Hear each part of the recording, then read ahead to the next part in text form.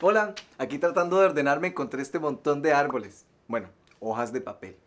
Ustedes saben que estas hojas vienen de los árboles. Y nosotros muchas veces lo hacemos bolita y lo tiramos a la basura. Los tejidos de las plantas nos ayudan a producir muchas materias primas que nosotros usamos todos los días. Sabemos que las plantas producen su propio alimento y que también tienen sus órganos. ¿De verdad? Sí, como nosotros. Vean, tienen la raíz, el tallo y las hojas. Esos son sus órganos.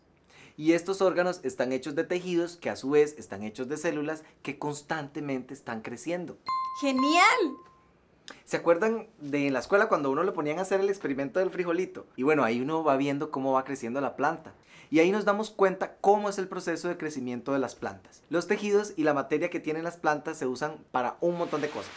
No lo sabía. Los tejidos y la materia que tienen las plantas se usan para un montón de cosas. En Egipto, por ejemplo, usaban algo llamado papiro, que era la unión de diferentes plantas, ellos las secaban y las transformaban en papel para escribir. El problema es que al producir estos elementos que usamos todos los días y nos ayudan para vivir, también estamos arrasando con los bosques.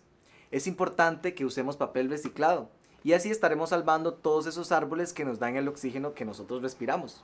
Bueno, sigamos reciclando.